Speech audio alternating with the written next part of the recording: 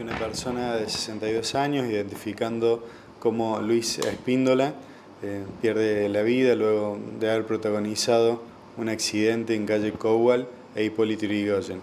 A partir de allí se elaboraron actuaciones eh, pertinentes, eh, secuestrando los rodados que estaban involucrados, en este caso un motovehículo y un automotor que habrían participado del accidente. ¿Espíndola venía en moto?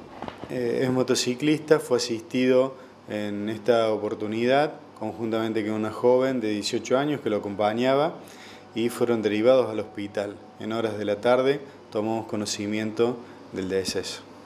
Bueno, em, ¿qué golpes, qué, qué, tipo de lesiones había tenido Espíndola?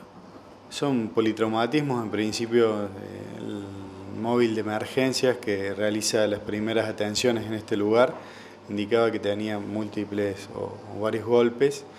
Eh, por lo tanto fue derivado al hospital para una mejor atención. ¿Venían con casco?